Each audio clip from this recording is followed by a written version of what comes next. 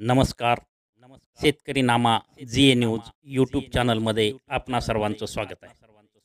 आपण हे channel subscribes केले नसेल तर आजच सबस्क्राईब्स करा आणि समोरील घंटीच्या चित्रावर क्लिक करा. म्हणजे नवनवीन व्हिडिओ तुमच्या मोबाईलवर पाहता येतील.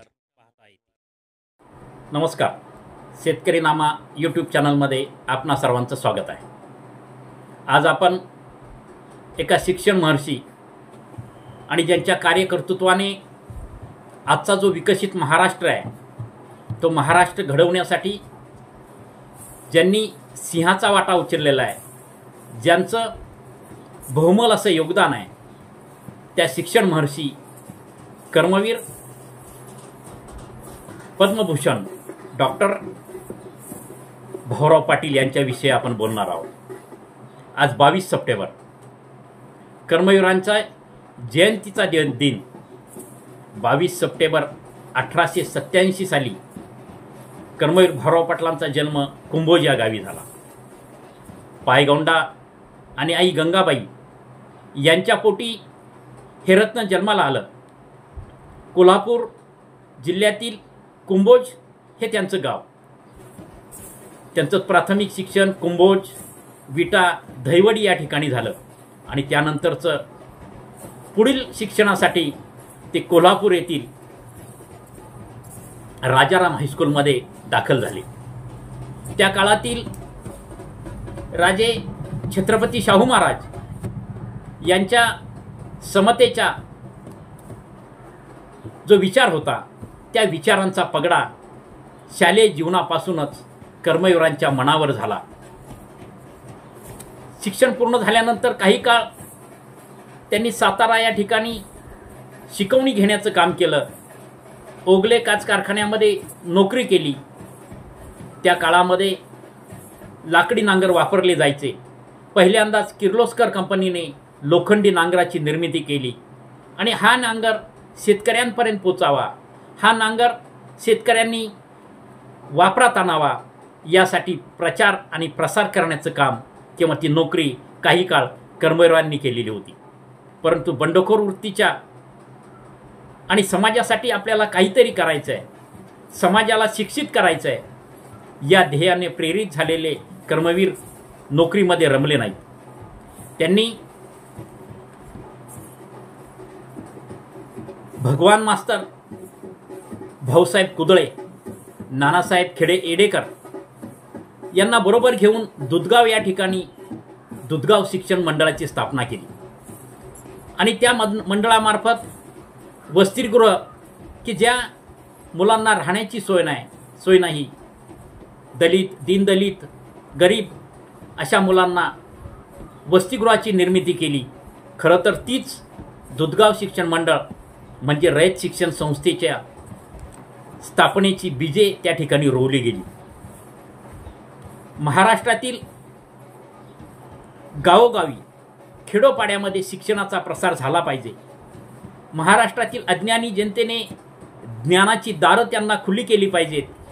गोरगरीब जनतेची मुलं जी शहरापर्यंत जाऊन शिकू शिक शिक्षण घेऊ शकत नाहीत अशा मुलांसाठी त्यांच्या गावामध्ये शिक्षण संस्था निर्माण झाल्या पाहिजेत शाळा निर्माण झाल्या पाहिजेत अशा प्रकारचा एक ध्यास अशा प्रकारचा एक यज्ञ अशा प्रकारचा संकल्प घेऊन कर्मवीर भाऊराव पाटील अनवानी गावोगाव फिरले. महाराष्ट्रभर त्यांनी भटकंती केली.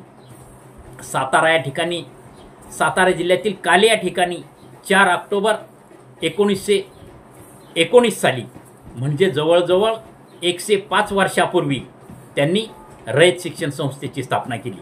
तो दिवस होता घटस्थापनेचा.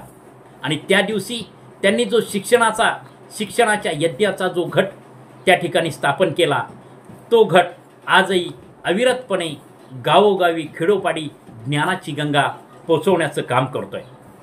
कर्मवीरांनी शिक्षणाच्या शिक्षण संस्था स्थापन करत असताना समता बंधुता श्रमप्रतिष्ठा आणि सामाजिक बांधिलकी ही मूल्य जपलेली आपल्याला दिसतात. कमवा आणि शिका हा नवा मर्त त्यांनी जगाला दिला. स्वावलंबी शिक्षण हेच आमचे ब्रीज हा मंत्र त्यांनी जगाला दिला. शिक्षण घेत असताना श्रमप्रतिष्ठेलाही महत्त्व आहे. शिक्षण घेत असताना श्रमप्रतिष्ठा याची पूजा केली पाहिजे शिकलं पाहिजे शिकत असताना काम केलं पाहिजे. शरीरही आपलं धडधाकड झालं पाहिजे मनही आपलं धडधाकड झालं पाहिजे.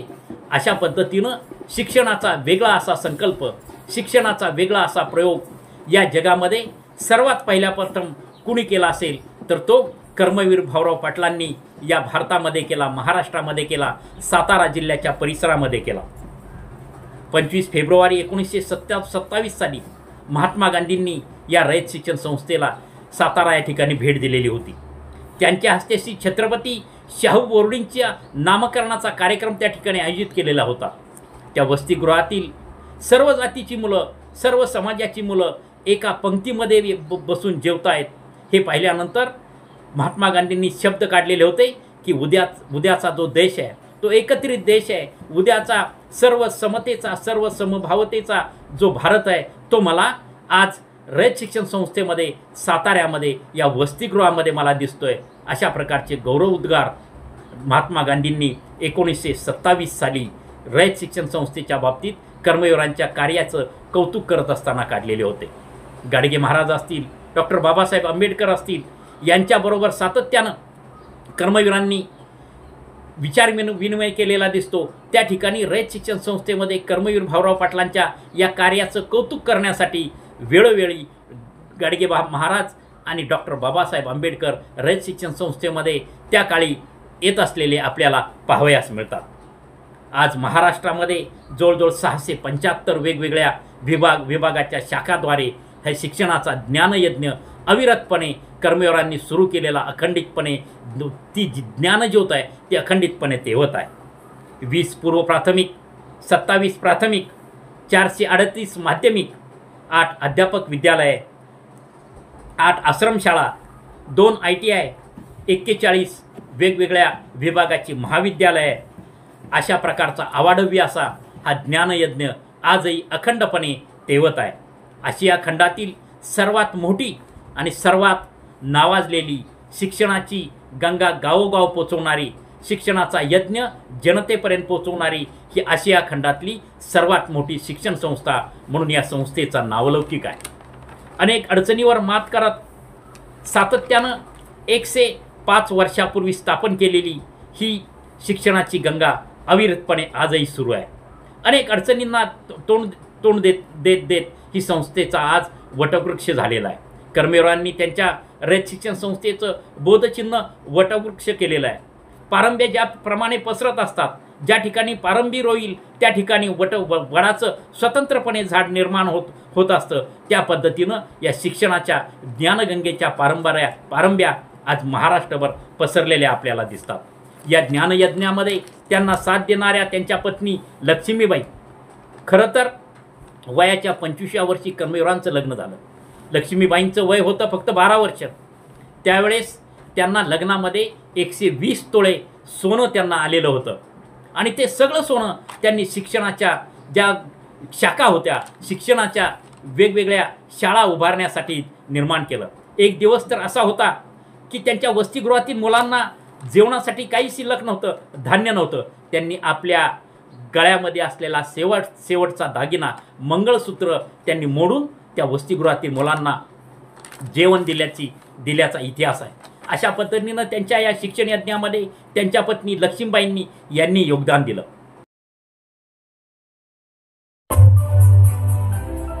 वेगवेगळ्या समाजातील वेगवेगळ्या दानशूर व्यक्तींनी वेळोवेळी कर्मवीरांना दान देन दान दिलेले आपल्याला दिसून येतं. परंतु तरीसुद्धा एक लाख देणारा एक व्यक्ती मला नको तर एक एक रुपया देणाऱ्या देणारे एक लाख लोक मला पाहिजेत.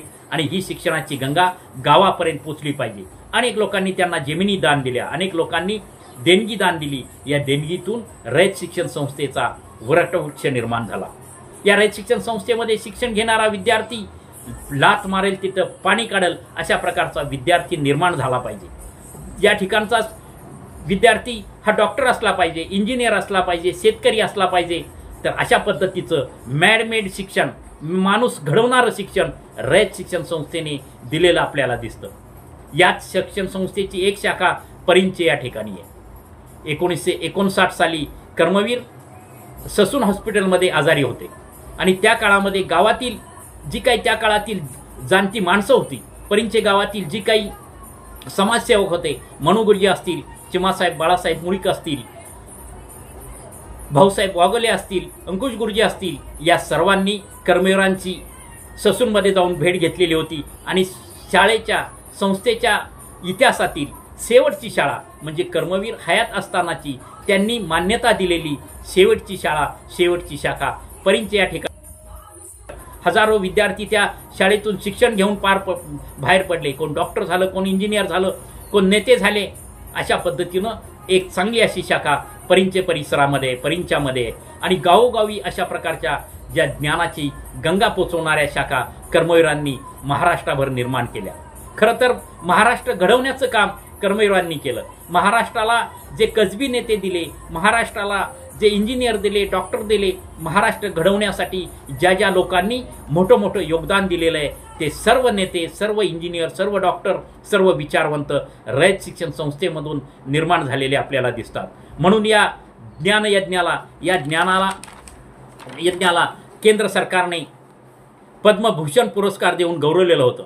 मी तर म्हणेल या शिक्षण यज्ञाला ज्यांनी महाराष्ट्राची उभारणी केली महाराष्ट्राच्या उभारणीमध्ये ज्यांचं योगदान आहे महाराष्ट्राला ज्यांनी कसबी नेते दिले महाराष्ट्राला विचारवंत दिले महाराष्ट्र घडवण्यासाठी ज्यांनी आपलं आयुष्यभर अनवाणीपणे ते फिरले त्या कर्मवीरांना खरं तर भारतरत्न पुरस्कार मिळाला पाहिजे.